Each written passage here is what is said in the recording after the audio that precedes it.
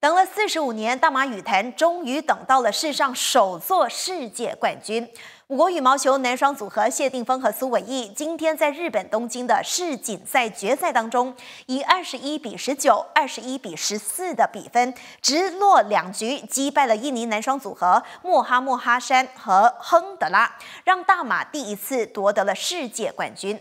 那羽坛一哥李宗伟，朝野政党的多位政治领袖都在社交媒体上发文祝贺。李宗伟说啊，谢定峰和苏伟毅实现了他一直以来都没有办法实现的梦想，同时表扬他们今天的心态和场上的状态都做得非常好。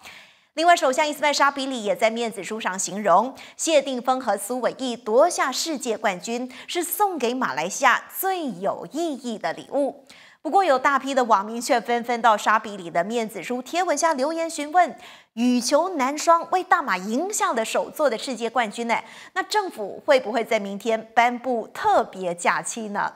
针对网民的提问，沙比里到目前呢是还没有做出任何的回应的。我们来看一组国内快报。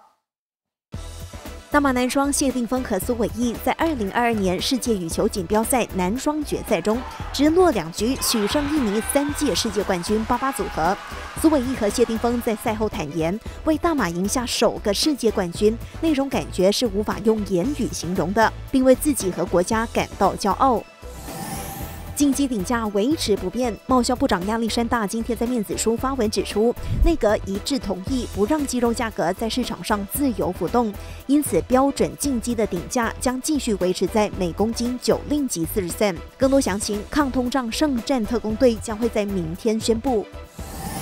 全民党主席孙伟轩今天召开记者会，表示，全民党和人民权利党将会在来届大选携手合作，并会在十月一号召开的党代表大会寻求修改党章，为两党全面合作铺路。另外，孙伟轩也宣布，两个月前退出土团党的拿督国会议员莫哈默丁将会加入全民党。